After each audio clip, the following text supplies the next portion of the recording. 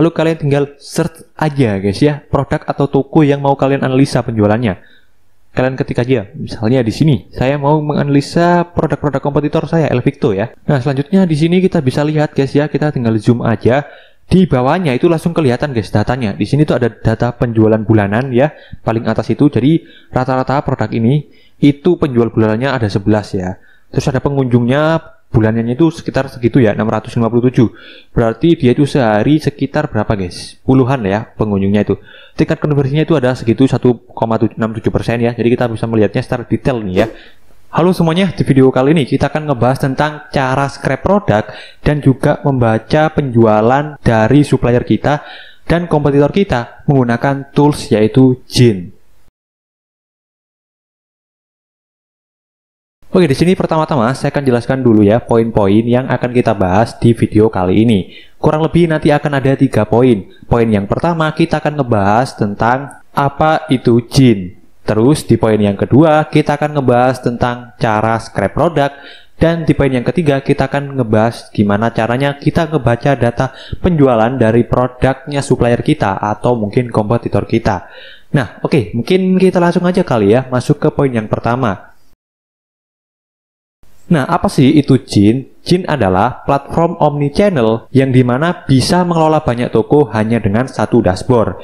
Jadi, misalnya gitu ya, kalian itu punya toko di Shopee, Lazada, Tokopedia, dan lain sebagainya.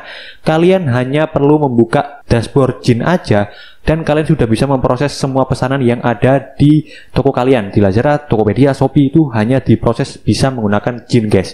Jadi, kalian nggak perlu ribet-ribet gitu ya untuk membuka tab satu persatu dari seller center masing-masing. Jadi cukup menggunakan satu dashboard yaitu Jin saja kalian sudah bisa memproses pesanan, memproses stok, dan masih banyak lainnya. Nah, fitur-fitur yang ada di Jin ini itu banyak banget ya. Salah satunya kayak ada manajemen pesanan, manajemen produk, manajemen stok, manajemen pergudangan, dan ada fitur chat juga. Dan masih banyak lagi ya fitur-fiturnya yang ada di Jin ini. Kalau misalnya kalian mau tahu lebih lengkapnya fitur-fitur apa aja yang ada di Jin, kalian bisa langsung cobain sendiri ya cobainnya bisa link, klik link di deskripsi atau di pin komen guys ya. Oke? Oke, jadi itu tadi ya penjelasan tentang apa itu Jin. Dan ya, sekarang kita langsung aja masuk ke poin yang kedua yaitu tentang cara scrap produk. Oke, let's go. Oke, untuk cara scrapnya sendiri di sini saya contohinnya itu menggunakan handphone guys ya. Jadi kita pakai handphone nih untuk cara scrapnya. Nah, pertama-tama kalian download dulu ya di Play Store yang namanya itu adalah Kiwi Browser guys ya. Nah, kenapa sih kita harus pakai Kiwi Browser? Karena kalau misalnya kita itu pakai Chrome atau mungkin pakai yang lainnya gitu ya, browser lainnya, itu takutnya nanti malah gagal guys scrapnya. Jadi di sini saya rekomendasikan kalian pakai Kiwi Browser ya. Download aja di Play Store dan gratis. Oke, langsung aja gini kita buka ya Kiwi Browsernya. Nah, selanjutnya kalian tinggal masuk aja ya ke jin.com guys ya. Kalian tinggal ketik aja kayak gini jin.com atau kalian juga bisa klik link deskripsi ya untuk masuk ke webnya Jin ini. Nah, selanjutnya nanti akan muncul ke tampilan seperti ini. Ini kita silang dulu ya. Nah, kalian pertama depan sini kalian daftar dulu guys ya. Daftar dulu, kalian klik aja itu tadi coba gratis dan ini gratisnya itu selama 30 hari ya. Nah, di sini kalian bisa isi nomor telepon kalian dan juga email kalian ya. Nanti akan dikirim OTP-nya. Karena di sini saya sudah pernah daftar, jadi saya langsung login ya guys ya. Saya klik di paling bawah sendiri nih login. Oke, baik. Di sini saya sudah login ya. Nanti kalau misalnya kalian udah daftar juga akan muncul ke tampilan seperti ini guys ya. Nah, di sini pertama-tama kalian klik di pojok kanan atas titik tiga. Lalu kalian scroll ke bawah dan kalian klik ini guys, situs desktop ya. Jadi kalian aktifin nih situs desktopnya biar enak ya tampilannya itu. Terus kalian klik ini guys ya, tambah integrasi. Nah, terus di sini akan muncul banyak banget ya marketplace-marketplace yang bisa dihubungkan ke Jin ini kayak Shopee, Tokopedia, Bukalapak ya, Lazada, bahkan di sini juga ada marketplace yang ada di luar ya kayak Shopify ya Magento dan di sini juga ada TikTok Shop guys ya. Bentar mana tadi TikTok Shop guys? Perasaan kemarin ada nah ini kan ada TikTok Shop guys ya. Jadi TikTok Shop juga bisa diintegrasikan ya. Nah sebagai contoh di sini kalian itu katakanlah mau menghubungkan toko kalian yang ada di Shopee gitu ya. Kalian tinggal klik aja tuh tombol Shopee-nya ya. Kalau misalnya di Tokopedia ya kalian tinggal klik tombol Tokopedia. Intinya disesuaikan aja ya. Ini misalnya untuk Shopee nih. Terus kalian klik ini guys, mulai sinkronisasi. Selanjutnya akan muncul ke tampilan seperti ini ya. Di sini kalian rubah ya ke Indonesia ya. Ini karena biasanya otomatisnya ke Singapura nih. Kalian rubah ke Indonesia.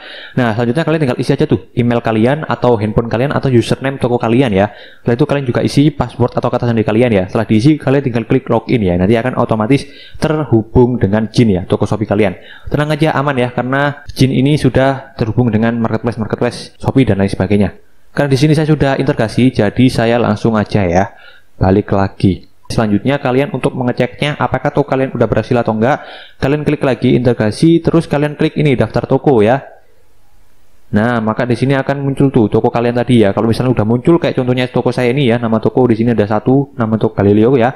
Uh, toko Shopee saya ya udah terhubung nih. Nah, ini status tokonya udah terhubung, berarti udah berhasil ya integrasi kita. Nah, selanjutnya setelah mengintegrasi toko kita, selanjutnya adalah kalian tinggal masuk aja ke web ini guys. Nah, kalian masuk ke web ini ya, http bit.ly dan lain sebagainya ini. Kalau kalian mau cepat, langsung aja klik link di deskripsi ya. Jadi web ini itu akan mengarahkan kita untuk menginstal ekstensi nih guys ya. Jadi sebelum kita scrap kita harus menginstal ekstensi dulu. Kalian tinggal klik aja link di deskripsi ya untuk webnya. Nanti akan muncul ke tampilan seperti ini tuh. Nah selanjutnya kalian klik ini guys ya. Install gratis untuk Chrome. Yang selanjutnya nanti akan muncul ke tampilan seperti ini. Kalian zoom dulu ya. Kalian klik ini guys ya, tambahkan ke Chrome. Nah, terus kalian klik OK. Nah, setelah itu kalau misalnya udah kalian install ya ekstensinya, kalau udah berhasil, itu tandanya tombol yang biru tadi itu akan berubah jadi hapus dari Chrome guys. Itu berarti tandanya udah berhasil tuh ekstensi kalian udah terinstall. Nah, selanjutnya kalian tinggal ke toko supplier kalian ya yang mau produknya itu di scrap. Di sini misalnya supplier saya ada di Shopee ya. Jadi saya ketik shopee.co.id nih. Oke, di sini saya sudah ada di Shopee ya. Kalian tinggal ketik aja nama toko supplier kalian ya. Bentar. Nah, misalnya di sini tuh nama supplier saya itu adalah Elvicto ya. Saya mau scrap produk Elvicto nih sebagai contoh ya, guys ya. Nanti kalian tinggal disesuaikan aja.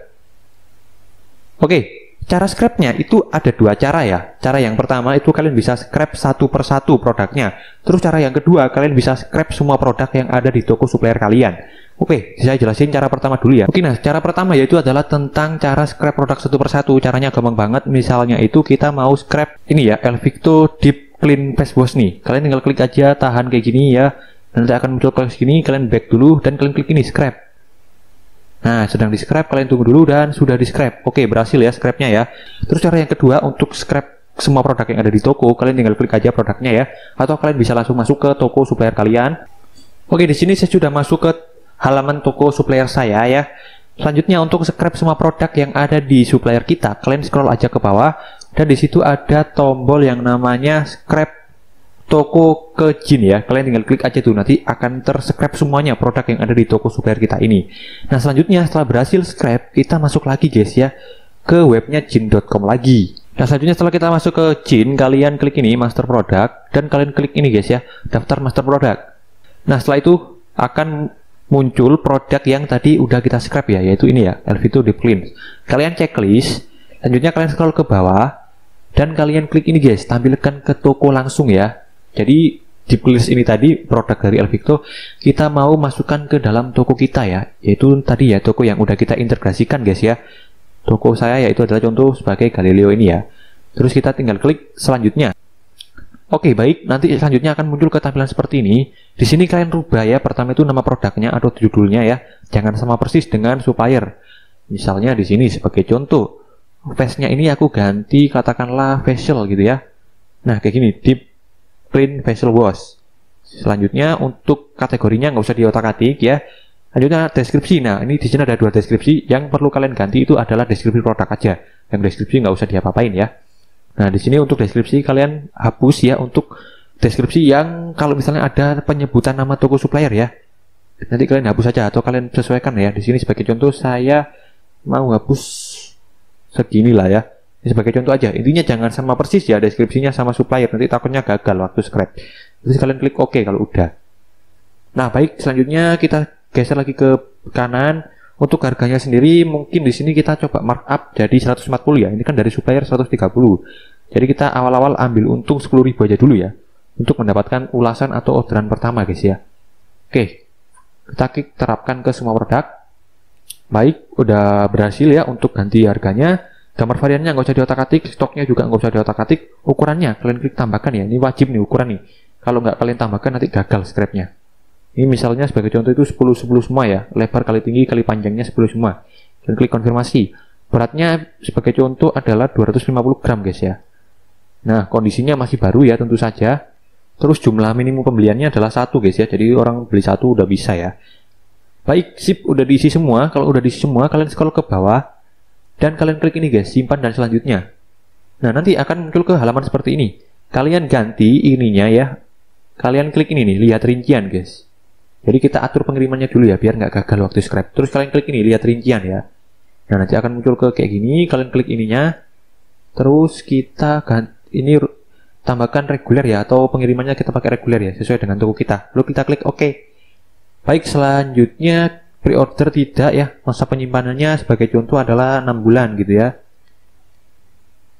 Nah, terus brandnya di sini kita pilih no brand ya. Kalau udah kita klik konfirmasi. Nah, di sini nanti kalian tinggal sesuaikan aja dengan produk yang kalian mau scrap guys ya. Ini sebagai contoh aja. Kalau udah diisi semua, kita klik ini, tampilkan ke toko. Selanjutnya ini kita tunggu dulu ya. Nah, sip udah berhasil guys ya. Semua berhasil ditampilkan ya. Jumlah total produknya kita scrap satu sebagai contohnya. Nah, baik selanjutnya setelah udah berhasil kayak gini, sekarang kita tinggal cek aja ke dalam Shopee Seller kita apakah produknya beneran sudah berhasil ke scrap atau belum ya. Oke, di sini saya sudah di Shopee Seller Center saya ya. Kita langsung aja cek ke produk saya.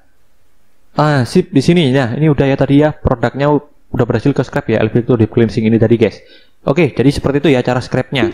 Oke guys, jadi kayak gitu tadi ya untuk cara scrapnya. Mudah-mudahan kalian bisa pahami ya. Dan sangat mudah sih ya untuk scrap menggunakan tools Jin ini. Baik, kalau misalnya udah kalian paham, sekarang kita masuk ke poin yang kedua, yaitu adalah tentang cara ngebaca data penjualan dari supplier atau kompetitor kita untuk menganalisis ya. Oke, let's go. Nah, untuk cara membaca data penjualan dari toko kompetitor atau supplier kita, kalian tinggal masuk aja lagi ke shopee.co.id ya. Lalu kalian tinggal search aja guys ya, produk atau toko yang mau kalian analisa penjualannya kalian ketik aja. Misalnya di sini, saya mau menganalisa produk-produk kompetitor saya, Elvicto ya. Nah, selanjutnya di sini kita bisa lihat guys ya, kita tinggal zoom aja. Di bawahnya itu langsung kelihatan guys datanya. Di sini tuh ada data penjualan bulanan ya, paling atas itu. Jadi rata-rata produk ini itu penjual bulanannya ada 11 ya. Terus ada pengunjungnya bulanannya itu sekitar segitu ya 657 berarti dia itu sehari sekitar berapa guys? Puluhan ya pengunjungnya itu. Tingkat konversinya itu ada segitu 1,67 persen ya. Jadi kita bisa melihatnya secara detail nih ya kalau pakai izin ini. Terus ada waktu peluncuran atau waktu pertama diupload yaitu untuk produk ini tuh diuploadnya 2021 bulan 9 tanggal 21 ya. Di sini juga di sebelah kanannya ada juga produk-produk yang lain ya.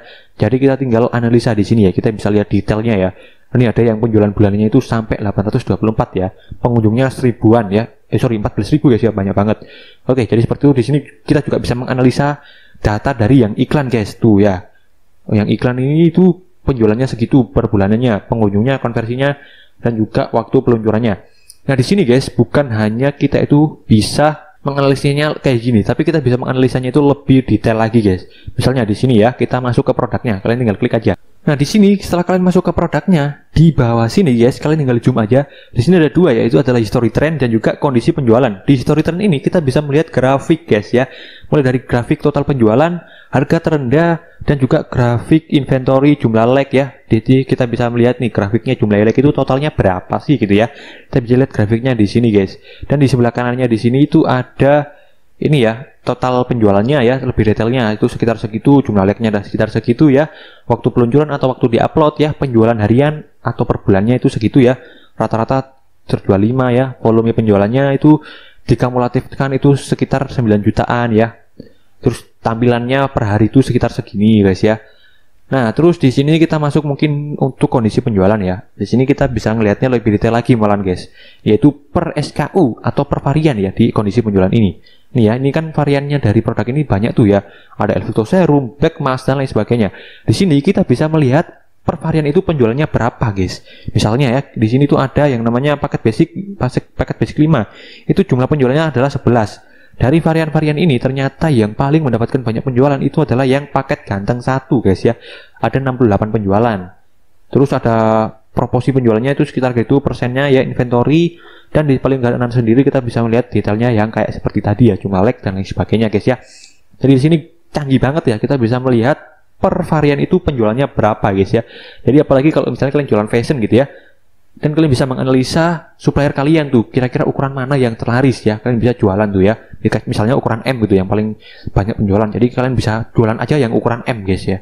Jadi kayak gitu ya ini penting banget untuk bisa ngebaca data ya guys ya sangat membantu nih ya Jin ini Oke okay guys, jadi seperti itu tadi ya untuk gimana cara scrap dan juga gimana cara ngebaca data penjualan dari kompetitor atau supplier kita ya. Jadi bagus banget menurut saya Jin ini rekomendasi banget ya untuk scrap maupun untuk ngebaca data penjualan ya dan lain sebagainya. Terima kasih nih yang sudah menonton ya. Mudah-mudahan video ini bermanfaat ya. Kalau misalnya kalian mau daftar Jin, kalian bisa langsung aja klik link deskripsi atau di pin komen ya. Dan itu gratis selama 30 hari guys ya. Oke, terima kasih. See you in the video. Bye. See you.